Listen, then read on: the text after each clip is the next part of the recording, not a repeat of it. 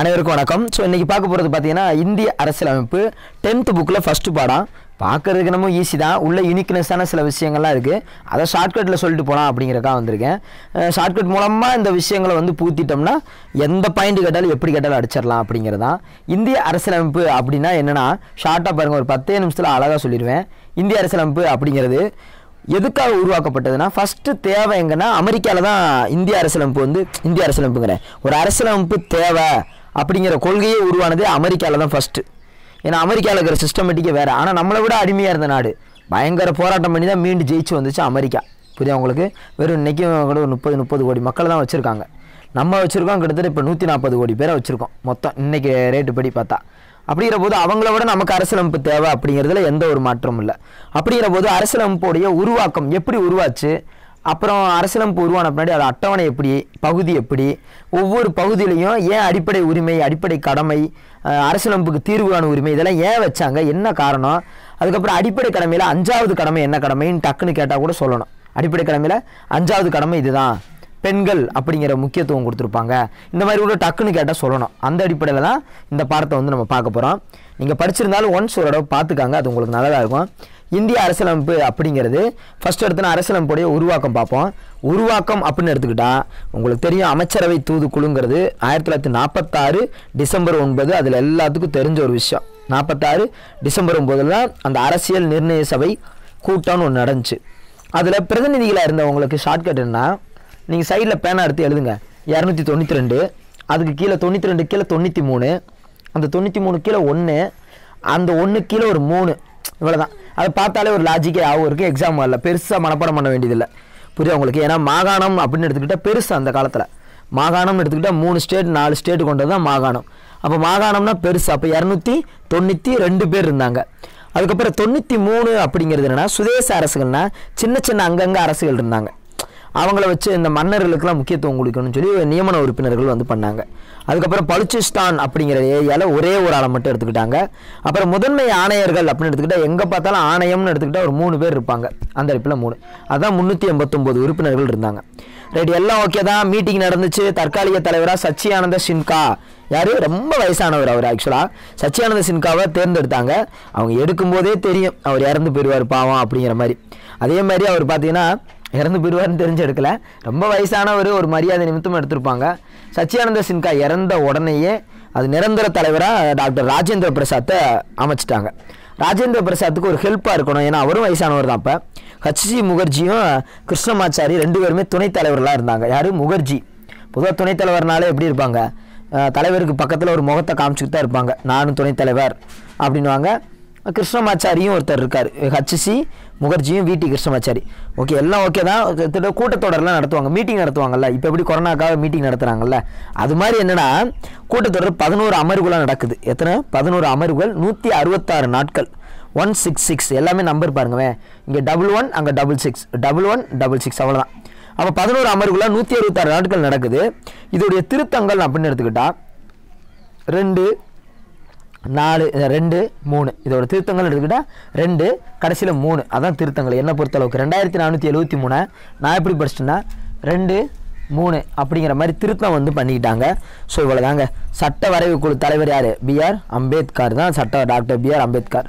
அரசியலமைப்பின் தந்தை இது எல்லாருக்கும் தெரிஞ்ச ஒன்று தான் ரைட் அடுத்து பார்த்தீங்கன்னா இந்த முகவுரை அப்படிங்கிற ஒரு விஷயம் பார்த்தீங்கன்னா உங்களுக்கே தெரியும். ஒரு புத்தகம் ரெடி பண்ணுவாங்கிறதுக்கு முன்னாடியே முகவுரைன்னு ஒன்று ரெடி பண்ணாங்க. பொதுவாக அது எல்லாருக்கும் தெரிஞ்சதான் மெயினாக பார்ப்போம். முகவுரை ரெடி பண்ணது. ரெடி பண்ணதுக்கப்புறம் இருபத்தி ரெண்டு பாகம் அதாவது பகுதின்னு சொல்லலாம் பாகம்னு சொல்லலாம். அப்போ வந்து புரியுது உங்களுக்கு? இருபத்தி ரெண்டு இப்போ வந்து நம்ம வந்து இருபத்தஞ்சு பகுதின்னு நம்ம சொல்லுவோம். அதில் சில பகுதிகள் வந்து நீக்கப்பட்டுருச்சு. நீங்கள் அதை அதை நீங்கள் மைண்டில் வச்சுக்கணும். புரியுது உங்களுக்கு? அப்போ இருபத்தி ரெண்டு பகுதிகள் அப்போ அப்போ இருபத்தி ரெண்டு பாகங்கள்னாலும் சரி இல்லை பகுதிகள்னாலும் சரி. இருபத்தி ரெண்டு பாகங்கள் முந்நூற்றி தொண்ணூத்தஞ்சு விதி. முந்நூற்றி தொண்ணூத்தஞ்சு விதி. அதுக்கப்புறம் பார்த்தீங்கன்னா எட்டு அட்டவணை. இன்றைக்கி தான் பன்னெண்டு அட்டவணை அன்னைக்கு எட்டு அட்டவணை. இதெல்லாம் கொண்ட அரசியலமைப்பா நவம்பர் இருபத்தாறில் சப்மிட் பண்ணார். அம்பேத்கர் வந்து சப்மிட் பண்ணது நவம்பர் இருபத்தாறு. அது வெளிவந்தது தான் ஜனவரி இருபத்தாறு. ஏன்னா அந்த ஜனவரி இருபத்தாறில் தான் நேரு கொடியேற்றிருப்பார் அங்கே. யார்? நம்ம ஜவஹர்லால் நேரு கொடியேற்றிருப்பார் பார்த்தீங்களா? அங்கே கொடியேற்றிருப்பார். ஸோ அதனால் வந்து நம்ம என்ன பண்ணோம்? அன்னைக்கே இது பண்ணிக்கலாம் அப்படின்னு. இந்த அரசியலமைப்பு அந்த காலத்தில் டைப் ரைட்டிங் மிஷின் வச்சு டைப்லாம் அடிக்கலை. நரேன் ரைசாத் அப்படிங்கிறவர் தான். இப்போ என்னது? பிரேம் நரேன் ரைசாத். அவர் எழுதி எழுதி முடிய நரைச்சி போச்சுன்னு வச்சுக்கோங்களேன். அவர் எழுதினாரு இத்தாலி பாணியில் எழுதினார். இத்தாலி பாணியில் எழுதினார். அது எப்படி ஆக வச்சுக்கணும்னா கழுத்தில் லெட்டை தாலி மாதிரி கட்டிக்கிடுவார் கழுத்தில் அந்த ஒரு கயிறு மாதிரி கட்டி அந்த லெட்டை தொங்க விட்டுருப்பார். அப்படி எழுதுவார். கழுத்தில் தொங்க விட்டுக்குவார். அதான் இத்தாலி அப்படிங்கிற ஒரு ஸ்டைலில் வந்து அவர் கைப்பட எழுதினார். இந்த அரசியலமைப்பு நீளமானது நெகிழும் நெகிழாத்தன்மை கூட்டாட்சி அரசு. கூட்டாட்சினா மத்திய மாநில அரசுகள் எல்லாம் சேர்ந்ததான கூட்டாட்சி? அப்படிங்கிறது சிறுபான்மையினருக்கு நாங்கள் முக்கியத்துவம் கொடுக்குறோம். ஒற்றை குடியுரிமை வழங்கியிருக்கோம். சுதந்திரமான நீதித்துறை சமய சார்பற்ற நாடு. அதுக்கப்புறம் பார்த்தீங்கன்னா பட்டியலினத்தவங்க பழங்குடியினருக்குலாம் சிறப்பு விதி கொடுக்குறோம். மத்தியில் மட்டும் இல்லை மாநிலங்கள்லேயும் நாடாளுமன்ற முறை. அதாவது லோக்சபா ராஜ்யசபா மட்டும் இல்லாமல் சட்ட மேலவை சட்டப்பேரவை அப்படிங்கிறது ஸ்டேட்லேயும் இருக்கலாம். இப்படியெல்லாம் எங்கள் அரசியலமைப்பு சொல்லியிருக்கு அப்படிங்கிறது இதில் எல்லாத்தையும் சொன்னாங்க. இது ஒன்று இருக்கிறனால தான் இன்றைக்கி நம்ம இன்றைக்கி இவ்வளோ தூரம் தைரியமாக பேச்சுரிமை சுதந்திர உரிமைன்னு பேசுகிறோம் இல்லைன்னா சென்ட்ரலேருந்து ஒரு ஆர்டர் போட்டால் நம்ம பேசக்கூடாது. தமிழ்நாட்டில் என்ன செய்யக்கூடாது? பேசக்கூடாது. அப்படிலாம் இருந்திருக்கும் ஒரு காலம். பரவாயில்ல. ரைட் முகவுரை அப்படிங்கிறத பார்ப்போம். முகவுரை அரசியலமைப்புன்னு ஒரு திறவுகோல் தான் எடுத்துக்கலாம். ஜனவரி ரெண்டு ஆயிரத்தி தொள்ளாயிரத்தி நாற்பத்தேழு ஜனவரி ரெண்டுலேயே அரசியல் நிர்ணய சபையால் ஏற்றுக்கொள்ளப்பட்ட ஜவஹர்லால் நேருவோட குறிக்கோள் தீர்மானம். அவர் ஆல்ரெடி எழுதியிருப்பார். இந்த ஃப்ரண்ட் பேஜில் இப்படி தான் வரணும் அப்படின்னு சொல்லி குறிக்கோள் தீர்மானம் ஜனவரி ரெண்டுலேயே சுதந்திரம் வாங்கினது ஆகஸ்ட் பதினஞ்சு. ஜனவரி ரெண்டுலேயே ஏற்றுக்கிட்டாங்க அதன்படி பார்த்தீங்கன்னா எல்லாம் ஏற்றுக்கிட்டாங்க ஆனால் இருந்தாலும் இந்த ஃப்ரான்ஸ் இருக்குது பார்த்தீங்களா? பிரெஞ்சு புரட்சி ஒன்று நடந்திருக்கும் ஃப்ரான்ஸில் அது எப்போ நடந்திருக்கும்னா அதை அடுத்து அந்த பாக்ஸில் காமிக்கிறேன். ஆயிரத்தி எழுநூற்றி எண்பத்தொம்போது. இதை எப்படி படிக்கணும்னா ஏழு எட்டு ஒம்போதுன்னு படிக்கணும். சமத்துவ சுதந்திரம் சமத்துவம் சகோதரத்துவம். அந்த சுதந்திரங்கிற வார்த்தை பார்த்தாலே ஏழு. சமத்துவம்னா எட்டு சகோதரத்துவம்னா ஒன்பது. அதான் ஏழு எட்டு ஒன்பது. அப்படின்னா வரிசை ஞாபகம் இருக்கும். அதான் பிரெஞ்சு புரட்சி பிரான்ஸ் நாட்டில். அங்கே நடந்துக்கிட்டு இருக்கிற போது இந்த விஷயத்தை வந்து அவங்க ரொம்ப முக்கியத்துவம் கொடுத்தனால நம்ம அரசியலமைப்பில் இந்திராந்தி அம்மா பீரியடில் நம்ம முக்கியத்துவம் கொடுக்குறோம். ஆயிரத்தி தொள்ளாயிரத்தி எழுபத்தாறு நாற்பத்தி ரெண்டாவது சட்டத்திருத்தம் குட்டி அரசியலமைப்புனே சொல்கிறோம் ஏன்னா இந்திராந்தி அம்மா பீரியடு அந்த அம்மா ஆட்சி காலத்தில் நடந்தது. இதை வந்து அவங்க ஆட் பண்ணுறாங்க இந்த மூணு விஷயத்தையும் ஆட் பண்ணுறாங்க ஆட் பண்ணுறதுனால நல்ல இன்னும் பலமான நாடாக நம்ம கிட்டத்தட்ட உலகளவில் ஒரு முக்கிய ஒரு அங்கீகாரம் கொடுத்த அளவுக்கு நம்ம வளர்கிறோம் அடுத்து பார்த்தீங்கன்னா அடுத்தது. இது வந்து முகவரைக்கான விஷயம். ஸோ அரசுன்னு சொல்லிட்டு அடுத்து குடியுரிமை. இந்த வரண்டா குடியுரிமை. ஸோ குடியுரிமை அப்படின்னு எடுத்துக்கிட்டா ஆ ஓகே குடியுரிமை அப்படின்னு எடுத்துக்கிட்டோம்னு வச்சுக்கோங்களேன். சிட்டிசன் என்ற சொல் சிவிஸ் என்ற லத்தீன் மொழிலேருந்து எடுக்கப்பட்டது. நல்லா பாருங்கள் லத்தீன் மொழிலேருந்து எடுக்கப்பட்டதா? இதில் ஒரு விஷயம் என்னென்னா சிட்டிசன் அப்படின்னாலே யார் தான் தலை. யார்? இவர் தான் நடித்தார். அஜித் தான் நடித்தார் அதான் தலை லா. லத்தீனு. அது யாவும் வச்சுக்கோங்க சொல்கிறேன் இல்லை சார் இது கூட ஷார்ட்கட்டா இல்லைப்பா எக்ஸாம் ஹாலில் போய் நீங்கள் விட்டுறக்கூடாதுந்தாப்பா. அதான் விஷயம். ரைட்டாங்க ஸோ ஓகே பார்த்துருவோம் ரைட் குடியுரிமை பற்றி பேசிக்காக இதில் இருக்கிறது இல்லாமல் நான் பேசிக்காகவே ஐடியா சொல்கிறேன் குடியுரிமை அப்படின்னு எடுத்துக்கிட்டோம்னா இதிலிருந்து எங்கேருந்து எடுக்கப்பட்டது அப்படிங்கிறத தாண்டி முகவுரை அதை தாண்டி குடியுரிமைங்கிறது பகுதி ரெண்டு. புரியுதா உங்களுக்கு? ஸோ ஃபஸ்ட்டு எடுத்தோன்னா பார்த்தீங்கன்னா பகுதி ஒன்று முடிஞ்சோன்னே பகுதி ரெண்டுக்கு வந்துட்டோம் நம்ம. புரியுதா உங்களுக்கு? பகுதி ரெண்டுங்கிறது அஞ்சுலேருந்து பதினொன்று வரைக்கும். பகுதி ஒன்று அப்படிங்கிறது ஒன்றுலேருந்து நாலு விதி தான் ஸ்டேட்டை உருவாக்குறது மாநில எல்லையை பிரிக்கிறது இந்திய அரசியலமைப்பு இதன் அடிப்படையில் தான் இருக்குதுங்கிற மாதிரி தான் ஒன்று டு நாலு. இந்த குடியுரிமை அப்படின்னா பகுதி ரெண்டு. ஏன்னா குடியிருக்கிறவங்க ரெண்டு பேர் தானே? அந்த அடிப்படையில் தான் குடியுரிமை அப்படிங்கிறத சொல்கிறோம் அஞ்சு டு பதினொன்று அப்படி என்னதான் அந்த அஞ்சு டு பதினொன்று விதி சொல்லும் அப்படின்னா குடியுரிமை யாருக்கு கொடுக்கலாம் குடியுரிமை யாருக்கு கொடுக்கக்கூடாது அப்படிங்கிற அடிப்படையில் தான் குடியுரிமை சட்டங்கிறது ஐம்பத்தஞ்சில் வந்துச்சு. அஞ்சு அஞ்சு. ரெண்டு பேர் கையை அஞ்சு அஞ்சு விரல பிடிச்சா அதான் அஞ்சு அஞ்சு. ஐம்பத்தஞ்சு ஜூலை பத்தொம்போது. இந்த இடத்துல இல்லை எழுதிக்காங்க. குடியுரிமை சட்டம் ஆயிரத்தி தொள்ளாயிரத்தி ஐம்பத்தஞ்சு ஜூலை பத்தொம்போது. ஜூலை பத்தொம்போதில் தான் இந்த விஷயம் வந்து வந்துச்சு. குடியுரிமை சட்டம் வேணும். குடியுரிமை யாருக்கு கொடுக்கணும்? குடியுரிமை யாருக்கு கொடுக்கக்கூடாது? அப்படிங்கிற மாதிரி கொண்டு வந்தாங்க. இது சட்டத்திருத்தத்தால் எட்டு முறை திருத்தப்பட்டுள்ளது. இந்த குடியுரிமை இருக்குல்ல இந்த சட்டம். இதை எத்தனை முறை திருத்திருந்திருக்காங்கன்னா எட்டு முறை திருத்திருந்திருக்காங்க இதில் ரொம்ப முக்கியமான விஷயம் காமன்வெல்த்து குடியுரிமை வழங்கியிருக்கு. இந்த குடியுரிமை சட்டம் காமன்வெல்த் குடியுரிமைனா காமனாக எல்லாருக்கும். ரெண்டாயிரத்தி பதிமூ ரெண்டாயிரத்தி மூணு ஆண்டு சட்ட திருத்தத்தின்படி உரிமை நீக்கப்பட்டது. காமன்வெல்த்தை கொடுத்துட்டு என்ன பண்ணிட்டாங்க? ரெண்டாயிரத்தி மூணில் நீக்கிட்டாங்க. அவ்வளோதான் கான்செப்ட் அப்போ ரெண்டாயிரத்தி மூணு யார் பீரியட் தெரியுமா?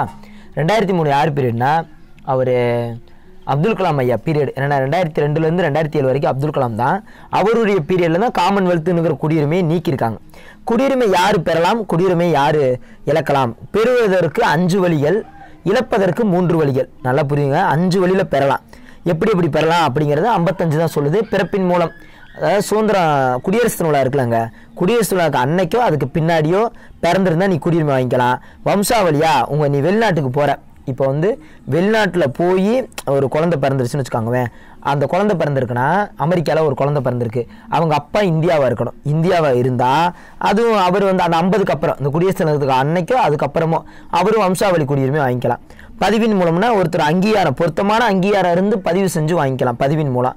இயல்புரிமை மூலம்னா வெளிநாட்டவர் என்ன பண்ணால் இயல்புரிமை கோரி வெளிநாட்டு வந்து நான் இங்கே வந்து இருந்துக்கிறேன் என்னால் முடியல அப்படின்னு சொல்லி கோரி இத்தனை வருஷம் இங்கே இருக்கணும்னு ஒரு ரூல் இருக்குது அதன்படி இருந்தும் கூட அவங்க என்ன பண்ணிக்கலாம்? வாங்கிக்கலாம். அது ஒரு செவன் இயர்ஸ் அப்படிலாம் சொல்லுவாங்க பொதுவாக அது ரொம்ப ரொம்ப ரொம்ப ஒரு முக்கியமான ஒரு விஷயமும் கூட. அதுக்கப்புறம் பார்த்தீங்கன்னா பிரதேச நாடுகள் இணைவின் மூலம் புதுச்சேரி இணைச்சோம்.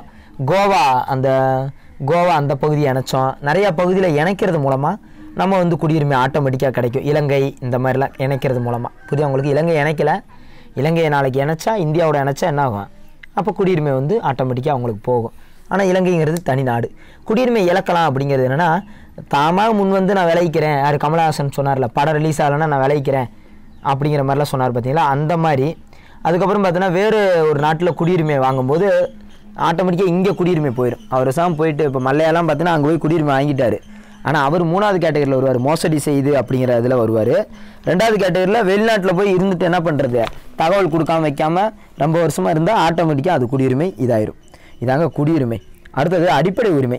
அடிப்படை உரிமைக்கு தான் ஷார்ட்கட் ரொம்ப மெயினாக சொல்லி ஆகணும். இந்த ப- நான் பின்னாடி சொல்கிறேன் பகுதி மூணு அப்படிங்கிறது அடிப்படை உரிமை. குடியுரிமைக்கு அப்புறம் அடிப்படை உரிமை. பன்னெண்டுலேருந்து முப்பத்தஞ்சு விதிங்க. ஆனால் முப்பத்தி ரெண்டு வரைக்கும் தானே சார் பார்க்குறோம். ஏன் சார் மிச்சது பார்க்கல? மிச்சது பார்க்க மாட்டோம். புரியுது? உங்களுக்கு சில இது நீக்கப்பட்டிருக்கும். சில விஷயங்கள் பன்னெண்டுலேருந்து முப்பத்தி ரெண்டு வரைக்கும் தான் பார்ப்போம். அப்போ பன்னெண்டுலேருந்து முப்பத்தஞ்சு வரைக்கும் இது எங்கேருந்து எடுக்கப்பட்டதுன்னா உரிமை வேணும்னு சொல்லி இன்றைக்கும் அமெரிக்கா தான் பயங்கரமாக நிற்கும் ஆனால் அமெரிக்காட்டிருந்து தான் எடுத்தோம். ஏழு அடிப்படை உரிமைகள் தற்போது பார்த்திங்கன்னா அரசியலமைப்பில் வந்து இருக்குது இருந்துச்சு. ஆனால் தற்போது பார்த்தீங்கன்னா ஆறு உரிமைகள் தான் இருக்குது ஏன்னா ஏழாவது உரிமை சொத்துரிமை நீக்கப்பட்டது. யாருன்னா இந்திராந்தி அம்மா பீரியடில் ஏழு இருந்துச்சுங்க ஃபஸ்ட்டு சொத்துரிமையோட சேர்த்து. இந்தந்த உரிமையெல்லாம் இருக்கலாம். சமத்துவ உரிமை சுதந்திர உரிமை சுரண்டலுக்கு எதிரான உரிமை சமயம் சார்ந்த உரிமை கல்வி உரிமை சுரண்டல் அப்படின்னு சொல்லி ஆசிலம்புக்கு தீர்வான உரிமை சொத்துரிமைன்னு ஏழு உரிமை இருந்துச்சுங்க. அதில் ஏழாவது உரிமை என்ன இவங்க சொத்துரிமை கொண்டாடுறாங்கன்னு சொல்லி இந்திராந்தி அம்மா தான் தூக்கி விட்டாங்க. ஆயிரத்தி தொள்ளாயிரத்தி எழுபத்தாறு அது நாற்பத்தி சட்ட திருத்தம் தான். புரியுவாங்க இந்த தான் ரொம்ப ஒரு முக்கியமானது இந்தியாவின் மகா சாசனம் அப்படின்னு சொல்கிறாங்க இந்த அடிப்படை உரிமை. எப்படி அப்படின்னா பார்ப்போம். இப்போ ஒரு காலேஜ் படிக்கிறோம். ஒரு ஸ்கூல் படிக்கிறோம். இதான் ஷார்ட்கட்டு நல்லா பாருங்கள் ஃபஸ்ட்டு சமத்துவ உரிமை. ஃபஸ்ட் எடுத்துன்னு பார்ப்போம். ஸ்கூல் அப்படின்னு எடுத்துக்கிறோம். பதினாலுங்கிறது எட்டாவதுங்க. எட்டாவதுலேருந்து ஆரம்பித்து இப்போ பன்னெண்டாவது வரைக்கும் பார்க்க போகிறோம் ஸ்கூல் படிக்கிறோம் ஃபஸ்ட்டு அப்புறம் காலேஜ் படிப்போம். அப்புறம் வேலைக்கு போவோம். நல்லா பார்த்துக்காங்க. ஃபஸ்ட்டு ஸ்கூல் படிக்கிறோம். எட்டாவது படிக்கும்போது எல்லோரும் சமமாக இருந்தோம். நீங்கள் இந்த ஸ்டாண்டர்ட் ஆக வச்சுக்கிட்டாலே போதும். நம்பர்ஸ் அழகாக நீங்கள் அடிச்சிடுவீங்க எட்டாவது படிக்கும்போது சமமாக இருந்தோம் ஒன்பதாவது படிக்கும்போது தான் நீ என்ன ஜாதி என்ன மதம்னு கேட்டு ரெக்கார்டில் ஏற்றுவாங்க ஒன்பதாவது படிக்கும்போது. பத்தாவது படித்து முடிச்சாதான் உனக்கு பொது வேலை வாய்ப்புகளில் சம வாய்ப்பு கிடைக்கும். பத்தாவது தான். அதுக்கு முன்னாடிலாம் நீ எல்லாம் கவர்மெண்ட் ஸ்டாஃபுக்கு எலிஜிபிள் கிடையாது. அப்போ பதினாறு. புரியுதா உங்களுக்கு? ஸோ எட்டாவது ஒன்பதாவது பத்தாவது முடிச்சிட்டோம். பதினோராவது தீண்டாமை ஒழித்தல். பதினோராவதுனா ஒரு பையன் பத்தாவது முடித்து எப்படியாவது பதினொன்றாவது போயிடணும். பதினொன்றாம் பண்டா படித்தா தான் அவன் தீண்டாமையிலேருந்து ஒழிச்சு நம்ம அடிச்சு மேலே இருந்து ஜெயிச்சு வர முடியும்னு அவ வச்சுக்காங்க. அப்போ தீண்டாமை ஒழித்தல் பதினா பதினோராவது அவன் குரூப் எடு குரூப் எடுக்கிறத பொறுத்து தான் ஒருத்தர் டாக்டர் குரூப் எடுத்தான்னா ரைட் சரியாக போச்சு. அவங்க குடும்பம் வறுமையிலேருந்து வென்றோம் அப்படிங்கிற மாதிரி தீண்டாமை ஒழித்தல் ஞாபகம் வச்சுக்காங்க. பதினேழு எல்லாருக்கும் தெரிஞ்சதான். பதினெட்டு நீ பன்னெண்டாவது முடித்தாதான் பட்டங்கள் வந்து வாங்க முடியும். அதான் கல்விசார் பட்டங்களை தவிர மற்ற பட்டங்களை நீக்குதல். அப்படின்னா என்ன சொல்கிறாங்கன்னா இராணுவம் கல்விசார் பட்டங்களை தவிர மற்ற பட்டங்கள்லாம் வேணாம் அப்படின்னு நீக்கிறது. பதினெட்டு. ஸோ அப்போ இந்த பதினாலு டு பதினெட்டுனா ஸ்கூல் லைஃப் முடிஞ்சுச்சு அடுத்து சுதந்திரமானது எங்கே இருப்போம்? நம்ம காலேஜில் தான் சுதந்திரமாக இருப்போம். டார்ச்சரே இருக்காது. அப்போ இப்போ இன்ஜினியரிங் காலேஜ் போகிறீங்க நாலு வருஷம். பத்தொம்போது இருபது இருபத்தொன்று இருபத்தி ரெண்டு first year second year third year fourth year first இயரில் போனால் நீ பேசிக்கலாம். நீ கூட்டம் குடிக்கலாம் நீ சங்கம் வச்சுக்கலாம். நீ விரும்பிய இடத்துல உட்காந்து படிப்பா நீ தொழில் செய்ப்பா என்னென்னமோ செய்யுங்கப்பான்னு அப்படியே ஃபஸ்ட் இயரில் அட்மிஷனுக்காக அப்படி இப்படின்னு வாங்க. அதான் பத்தொம்போது. செகண்ட் இயரில் இருபதுன்னா குற்றஞ்சாட்டவர்களுக்கான உரிமை தண்டனையிலேருந்து பாதுகாப்புனா செகண்ட் இயரில் ஆட்டோமேட்டிக்காக நம்ம மேலே என்ன குற்றம் சாட்டப்பட்டாலும் ஏய் நான் செகண்ட் இயரான்னு தன்னைத்தானே பாதுகாத்துக்கலாம். அடுத்து தேர்ட் இயரில் அப்படின்னு எடுத்துக்கிட்டா வாழ்க்கை மற்றும் தனிப்பட்ட சுதந்திரம்னா அவனுக்கு ஏதாவது எப்படி லவ் பண்ணிடுவான் தேர்ட் இயரில் ஒன்று என்னுடைய வாழ்க்கையை நான் பார்க்கணும் அப்படின்னு நினப்பான். இல்லைன்னா தேர்ட் இயரில் நம்ம ஒழுங்காக படிக்கணும் நம்ம வாழ்க்கையை நம்ம பார்க்கணும் அப்படின்னு நினப்பான். ஸோ அந்த மாதிரி தேர்ட் இயரில் வாழ்க்கை மற்றும் தனிப்பட்டத்துக்கான பாது தனிப்பட்ட சுதந்திரத்துக்கான பாதுகாப்பு. அடுத்தது பார்த்தீங்கன்னா அப்படி இருக்கும்போது இருபத்தொன்று ஏய் ஒரு தேர்ட் இயர் ஏன்னு சொல்லிட முடியுமா? சொல்ல முடியும். தொடக்க கல்வி பெரும் உரிமை. இருபத்தொன்று ஏன்னா என்னது? தொடக்க கல்வி பெரும் உரிமை. அடுத்து இருபத்தி ரெண்டு கைது செய்கிறது வந்து பாதுகாக்கிறது. ஃபோர்த் இயர் யாராவது காலேஜில் வந்து கைது பண்ணுவாங்களா போலீஸு லாஸ்ட் இயர் சார் பாவம் சார் விட்டுருங்க சார் படிப்பு நின்று போயிடும் ஒன்றும் இல்லாமல் போயிடும்னு சொல்லுவாங்கள்ல அதான் ஃபோர்த் இயர் அப்போ ஃபஸ்ட் இயர்லேருந்து ஆரம்பித்து ஃபோர்த் இயர் வரைக்கும். இதில் வந்து அவசர நிலை பிரகடனா நாட்டில் முந்நூற்றம்பத்தி ரெண்டு விதி வருதுன்னு வச்சுக்கோங்கவேன் எந்த விதியை நிப்பாட்டலாம்? எந்த விதியை நிப்பாட்டக்கூடாதுன்னு பொதுவாக பார்த்தீங்கன்னா பத்தொம்போதை நிப்பாட்டலாம். இருபது இருபத்தொன்று நிறுத்த முடியாது.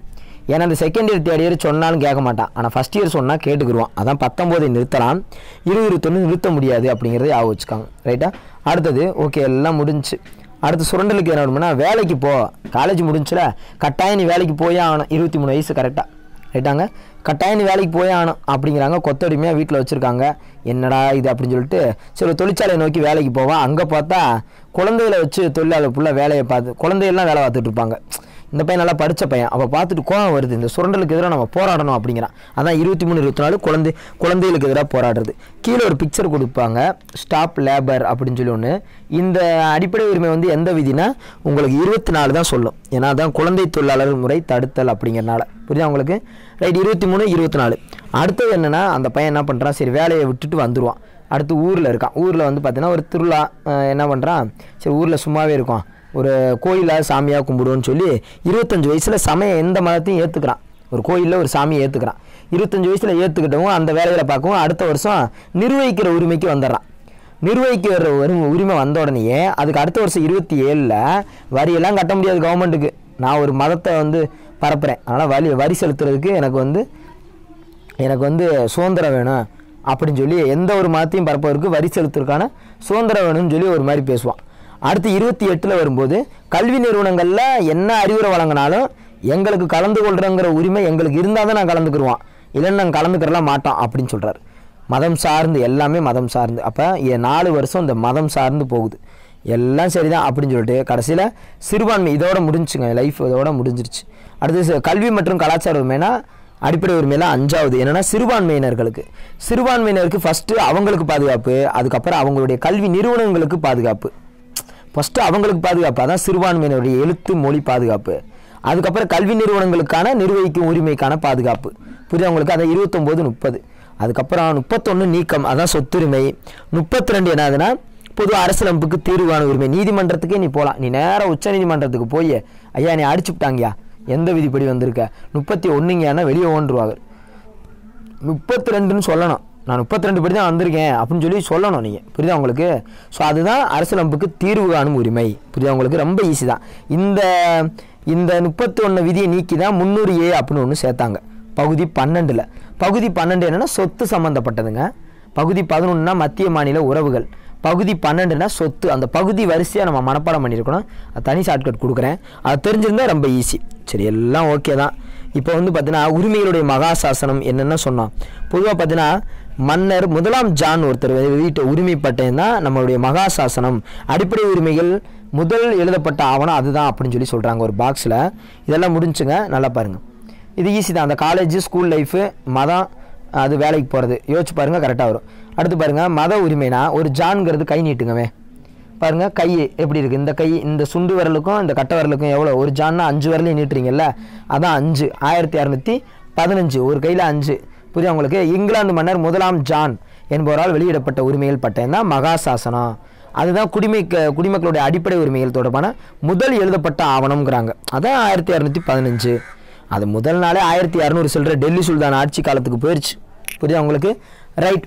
அடுத்தது முப்பத்தி ரெண்டு என்ன சார் முப்பத்தி ரெண்டு அப்படின்னா இந்த இந்த இந்த முப்பத்தி ரெண்டு சொன்ன உடனேயே அடுத்து மிச்சத்தை வந்து தனி வீடியோவாக கொடுக்குறேன். இன்னும் நிறையா இருக்குது அது தனித்தனியாக கொடுத்தா இல்லாட்டி ஒரேயாக கொடுத்துடலாமா? சரி ஒரேயாக கொடுத்துருவோம். நல்லா பார்த்துக்காங்க.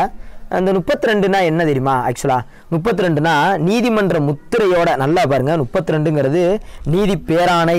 ரொம்ப ரொம்ப முக்கியம். இந்த முப்பத்தி ரெண்டு விதி தான் ஆன்மான்னு சொன்னார்னா இதயமற்ற ஆன்மானா? இந்த முப்பத்தி ரெண்டு படி தான் நம்ம போய் கேட்க முடியும். நீதிமன்றமே என்ன பண்ணும்னா இப்போ நான் போய் இப்போ எனக்கு டிஸ்ட்ரிக் கோர்ட்டு திண்டுக்கல் மாவட்டத்தில் எனக்கு ஒரு தண்டனை கொடுத்துட்டாங்க. எனக்கு தண்டனை கொடுக்கவும் நான் என்ன ப- எனக்கு தண்டனை கொடுத்தது வந்து தப்பாக கொடுத்துட்டாரு அவர் சாம அப்போ நான் மேல் மேலே போய் நான் முறையீடு பண்ணி மேலே அந்த அளவுக்கு போனோம்னா கீழே இருக்கிறவங்ககிட்ட எப்படி நீ தண்டனை கொடுக்கலான்னு டாக்குமெண்ட் கேட்கலாம் தடை விதிக்கலாம் இந்த மாதிரி மிக மிக முக்கியமான ஒரு இது. ஏன்னா நீதிபதிகள் வந்து நியாயமாக இருக்கணும் அப்படிங்கிறதுக்காக தான் இந்த இது பண்ணியிருக்காங்க. ஏன்னா ஒரு பயம் இருக்கணும் கரெக்டாக பண்ணணும் அப்படிங்கிற மாதிரி தான் இது பண்ணியிருப்பாங்க. அப்போ ஐந்து வகையான நீதி பேராணை வந்து வெளியிட்டிருப்பாங்க. புரியுதா உங்களுக்கு? நீதி பேராணை நீதிமன்றத்தோட முத்திரையோ முத்திரையோட உச்சநீதிமன்றமும் உயர்நீதிமன்றம் ரெண்டுமே ஐந்து வகையான நீதி பேராணையை வெளியிட்ட அதிகாரம் இருக்குது புரியுது உங்களுக்கு? ரெண்டுமே வெளியிடுற அதிகாரம் இருக்குது ஆனால் அரசியலமைப்பின் பாதுகாவல்னு கேட்டால் உச்சநீதிமன்றம் தான். ஏன்னா என்ன பார்த்தாலும் ஹெட் அங்கே தான் ஹெட் அங்கே தான் புரியுது உங்களுக்கு? ரைட் பார்ப்போம். ஆட்கொணர் நீதி பேராணை. ஃபஸ்ட் எடுத்தோன்னா ஹேபியஸ் கார்பஸ். இந்த நாடகத்தில் கூட சொல்லுவாங்க. ஏன்னா சட்டத்துக்கு புறமா கைது செய்யவே கூடாது. புரியுது உங்களுக்கு? அதான் ஹேபியஸ் கார்பஸ். அடுத்து கட்டளை மாண்டமஸ்ன்னு சொல்லுவாங்க. அதாவது ஒரு மனுதாரர் இருக்காருன்னா ஒருத்தர் அவர் சட்ட உதவியோட எந்த துறையில் வந்து அவருக்கான தகவல் வேணுமோ அவரை நிறைவேற்றிக் கொள்ளலாம். சட்ட உதவியோட. இப்போ வந்து எனக்கு இந்த துறையில் வந்து உனக்கு தகவல் வேணும்னா நிறைவேற்றிக்கொள்ளலாம் கொள்ளலாம். அதான் கட்டளை உறுத்தும் நீதி பெறானே சட்ட உதவியோட மாண்டமஸ். அடுத்து தடைனாலே ப்ரோஹிப்ஷன் வந்துடுது ஏன்னா கீழ் நீதிமன்றங்கள் சட்ட எல்லையை தாண்டிடக்கூடாதுங்கிறக்கா தடை உறுத்தும் நே- நீதி பெறானே ஆவண கேட்பு நீதி பெறனா உயர் நீதிமன்றத்திட்ட என்ன பண்ணுவாங்கன்னா சில ஆவணங்களை நியாயமான பரிசீலனைக்கு இவங்க என்ன பண்ணலாம்? ஒரு தனக்கோ அல்லது ஒரு உரிய அதிகாரத்துக்கோ அனுப்ப செய்ய கீழ் நீதிமன்றங்களுக்கு இடும் ஆணை. புரியுதா அவங்களுக்கு கீழே இருக்கிற நீதிமன்றம் உயர்நீதிமன்றம் வந்து அதை கொடு இதை கொடுன்னு சொல்லி கேட்கலாம். அதான் செர்சியோரரி ஆவண கேட்பு தகுதி வாரண்டோன்னா வச்சுக்கோங்க, கோ வாரண்டோன்னு சொல்லுவாங்க. தகுதி முறை வினவு நீதி பேரணை. சட்டத்திற்கு புறம்ப அரசு அலுவலகத்தையே கைப்பற்றுறது. நான் இப்போ திடீர்னு ஐஏஎஸ் ஆகிட்டேன் நாளைக்கு கழிச்சு. எங்கள் அப்பா ஐஏஎஸ்னாலும் நான் ஐஏஎஸ் ஆகிட்டேன் எப்படி? டாக்குமெண்ட் என்னன்னு சொல்லி யார் வேணாலும் என்ன வேணால் கேட்கலாம். ஸோ அந்த அடிப்படையில் தான் இது. புரியுதா உங்களுக்கு? அடுத்தது அடிப்படை உரிமையில நிறுத்தி வைத்தல். அதான் சொன்னேன் பத்தொம்போதை நிறுத்தலாம் இருபது இருபத்தொன்று நிறுத்தி வைக்க முடியாது. முந்நூற்றி ஐம்பத்தெட்டு படி என்னது குடியரசுத் தலைவர் அறிமுகப்படுத்துவார்ல இந்திய அளவில்.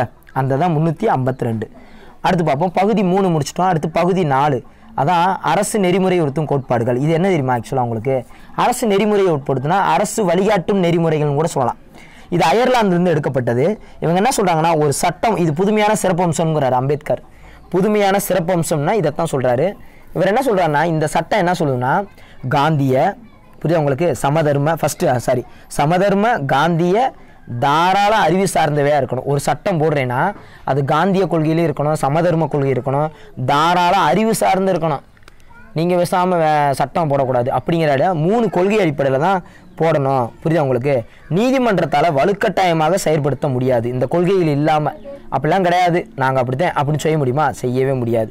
அதான் முப்பத்தாறு டு ஐம்பத்தொன்று முப்பத்தாறு டு ஐம்பத்தொன்று ரைட் எல்லாம் ஓகே தான். இந்த முப்பத்தாறு டு ஐம்பத்தொன்று அப்படிங்கிற விஷயம் தாண்டி ரெண்டாயிரத்தி ரெண்டில் ஒரு விஷயம் நடந்திருக்கும். அதான் அந்த அடிப்படை உரிமைகளுக்கான ஒரு விஷயம். அதை பாக்ஸில் சொல்லிட்டு வரேன்.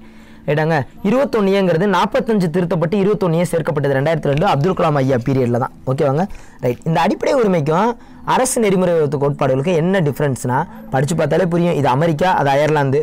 இங்கே வந்து சுருக்கவும் நீக்கவும் முடியாது. ஏன்னா அடிப்படை உரிமையை தொட முடியாது. ஆனால் அங்கே ஜஸ்ட் ஃபார் அட்வைஸு அதே மாதிரி பார்த்தீங்கன்னா நீதிமன்ற சட்டத்தால் செயற்படுத்த முடியும். இது எந்த நீதிமன்றத்தால் கட்டுப்படுத்த முடியாதுங்கிறாங்க. இங்கே சட்ட ஒப்புதலை பெறணும் அங்கே தார்மீக மற்றும் ச அரசியல் ஒப்புதலை பெற்றணும். அடுத்து பார்த்தீங்கன்னா ஜனநாயகத்தை வலுப்படுத்துது அதுவும் ஜனநாயகத்தை வலுப்படுத்தணும் உறுதி செய்து இயற்கையான உரிமை அது மனித உரிமை பாதுகாப்பு அவ்வளோதான் அடுத்து அடிப்படை கடமைகள் அப்படின்னு எடுத்துக்கிட்டோம்னா சோவியத் ரஷ்யாட்டிருந்து எடுத்தது. ஏன்னா கடமையில் அவன் கரெக்டாக இருப்பான். ஆயிரத்தி தொள்ளாயிரத்தி எழுபத்தாறு ஸ்வரன் சிங் கமிட்டி தான் இது என்ன பண்ணுச்சுன்னா இந்த அடிப்படை கடமைகள் வந்து வேணும்.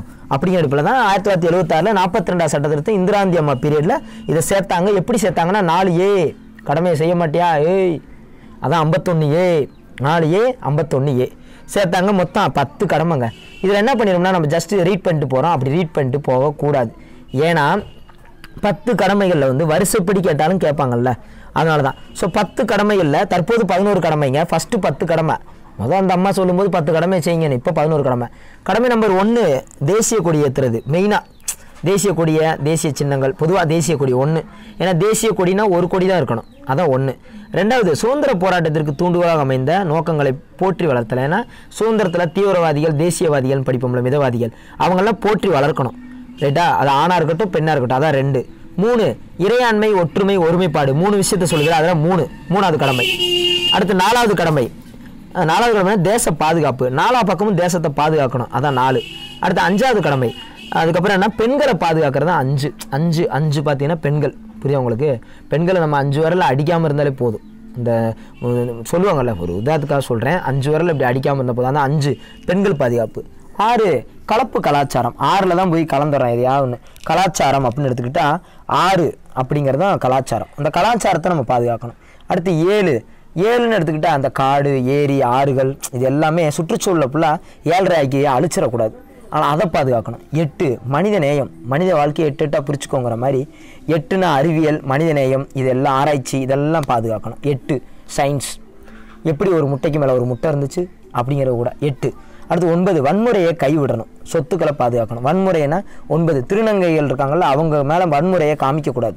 புரியுது அவங்களுடைய பாவம் சொத்துக்களும் பாதுகாக்கணும் அவங்களாம். அதான். பத்து கூட்டு செயல்பாடுகள். பத்து பேர் சேர்ந்தாலே கூட்டு? அதான் பத்து. பதினொன்று கல்வி. பதினொன்று கடைசியாக சேர்த்ததான் ரெண்டாயிரத்தி ரெண்டில்? இஜட் இஜட் அடிப்படை கடமையை அறிமுகப்படுத்தியது. இஜட் இஜட் அப்படிங்கிறது. புரியுதா உங்களுக்கு? ஸோ எதையும் எதையும் மைனூட்டாக படிக்கணும். அடுத்து மத்திய மாநில உறவுகள். மத்திய மாநில உறவுகள். மத்திய மாநில உறவுகள் அப்படின்னு எடுத்துக்கிட்டோம்னா மொத்தம் மூணு வகையில் இருக்குங்க.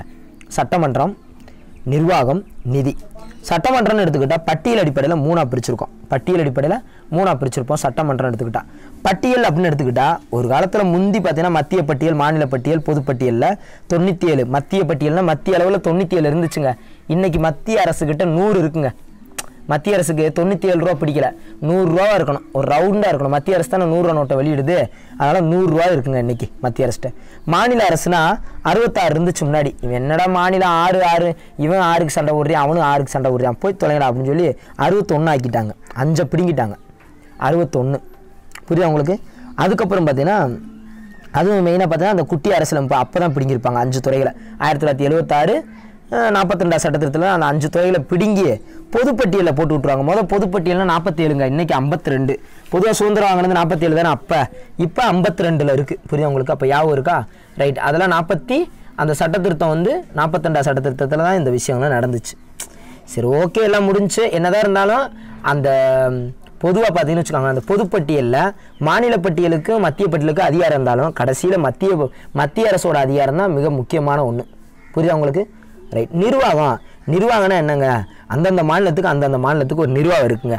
நிர்வாக உறவுகளை பற்றி ஆராயிறதுக்கு அந்த மத்திய மாநில அரசுகளோட உறவு ஆராயறதுக்கு தான் ராஜா மன்னார் குழுங்கிற குழுவை நியமித்தாங்க ராஜானா ஆறு மன்னார்னா ஒன்பது. அந்த பாருங்க அறுபத்தி ஒன்பது. அதான் மத்திய அரசுனா ஆறு மாநில அரசுனா ஒன்பது. எப்படியாலும் ஞாபகம் வச்சுக்கலாம். அறுபத்தி ஒம்பது ராஜா மன்னார் குழு அண்ணா பீரியடில் தான் இருக்கும்போது அறுபத்தொம்போது அண்ணா இறந்தார்ல அந்த வருஷம் தான் ராஜாவா மன்னாரா? ஏ ராஜாவும் ஒன்றுதே மன்னரும் ஒன்றுதே கிடையாது. ராஜான்னா ஆறு மன்னர்னா நைனு. இந்த நம்பரை மாற்றி போடணும். புரியுதா உங்களுக்கு?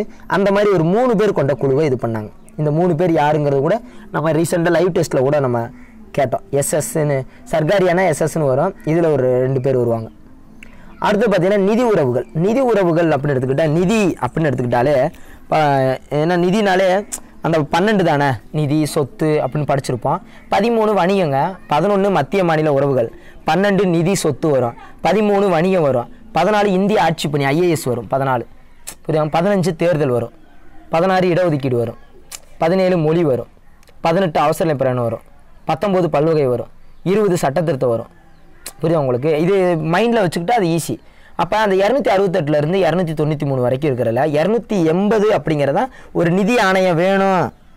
குடியரசுத் தலைவர் நியமனம் செய்யப்படணும். ஒரு நிதிக்குழு வேணும் அப்படின்னு சொல்லி இது பண்ணுறாங்க அப்போ தான் பார்த்தீங்கன்னா இந்த நிதிக்குழு சார்ந்து தான் இந்திரா காந்தி அம்மா பீரியடில் எண்பத்தி மூணில் ஏன்னா மூணுங்கிற வார்த்தை விஜய் அப்படின்னு சொல்லலாம். அதான் சர்க்காரியா குழு. சர்க்கார் அப்படின்னு சொல்லி.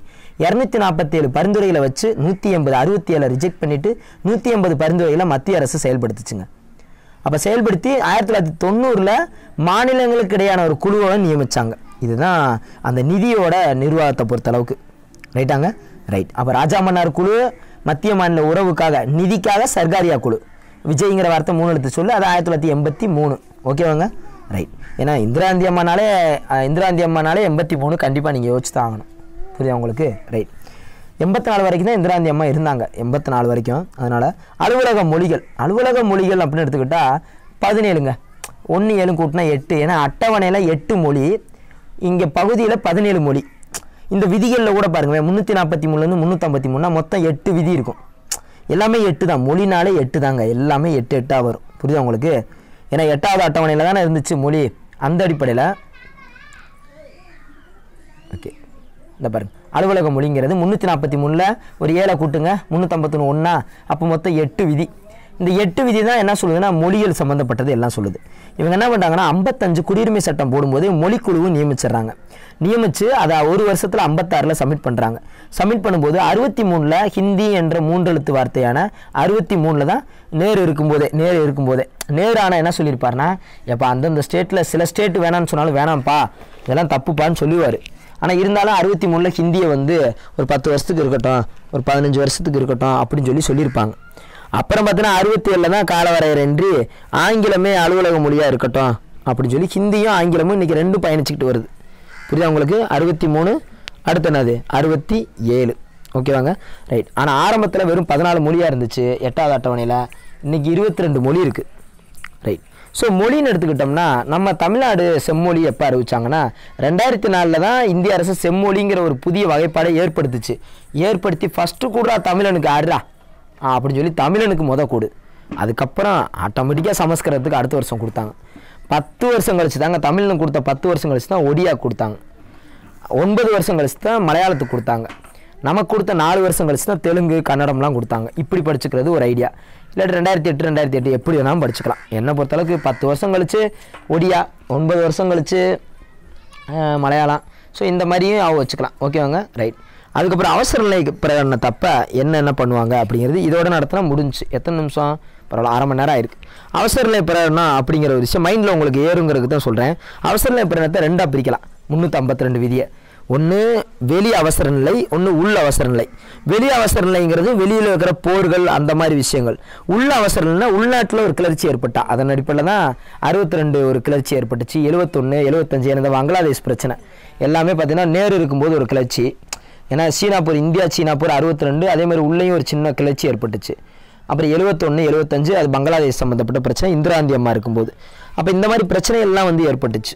ஓகேவாங்க இது முந்நூற்றம்பத்தி ரெண்டு விதி. அடுத்து பார்த்தீங்கன்னா முந்நூற்றி ஐம்பத்தி ஆறு இது மாநில அரசு. ஆளுநரை அறிக்கை அனுப்பணுங்க. அறிக்கை அனுப்பிச்சு குடியரசுத் தலைவருடைய ஆட்சி இது பண்ணுவோம் ஆனால் குடியரசுத் தலைவரே இங்கே வந்து ஆள முடியாங்கிறது அவருக்கு பதிலாக ஆளுநரால் ஆளப்படுகிறது. அவ்வளோதான் அதிகபட்சம் ஸ்டேட்டில் பொறுத்தளவுக்கு ஒரு மூணு வருஷம் நீட்டிக்கலாம். தொடர்ந்து அஞ்சு வருஷம் பத்து வருஷம்லாம் நீட்டிக்க முடியாது. ஓராண்டை தாண்டி நடந்துச்சுன்னா ஒரு மூணு வருஷம் நீட்டிக்கலாம். இங்கே வந்து பார்த்தீங்கன்னா என்னங்களாம் எலெக்ஷன் நடத்த முடியல? அப்படி சொல்லணும். எலெக்ஷன் நடத்த முடியல. இல்லை மாநில அரசுக்கு சட்டம் ஒழுங்கு சரியில்லை. அப்படின்னு சொன்னால் தான் மாநிலத்தில் இப்போ இந்த மாதிரி சட்டம் வரும்.